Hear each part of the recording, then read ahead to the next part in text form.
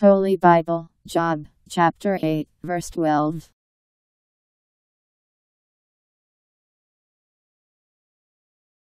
When it is still green, without being cut down, it becomes dry and dead before any other plant.